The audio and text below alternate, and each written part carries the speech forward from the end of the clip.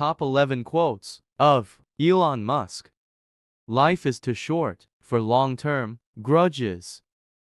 Some people don't like change, but you need to embrace change if the alternative is disaster.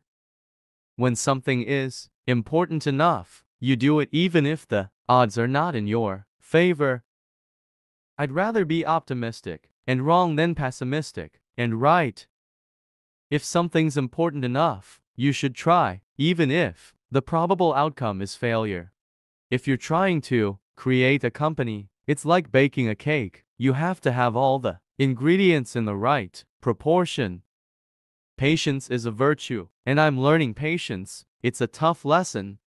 If you get up in the morning and think the future is going to be better, it is a bright day. Otherwise, it's not.